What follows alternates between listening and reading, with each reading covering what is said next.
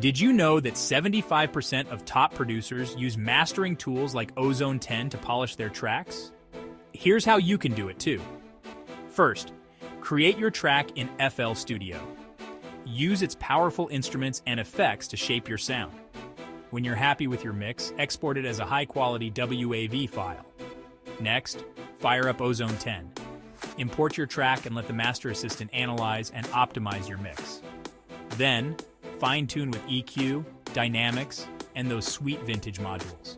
For a seamless workflow, try using Ozone 10 as a plugin within FL Studio.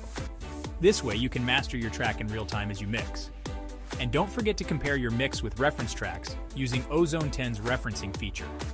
It's a game changer for spotting areas of improvement.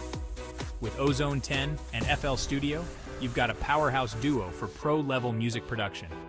Get ready to unleash your inner audio wizard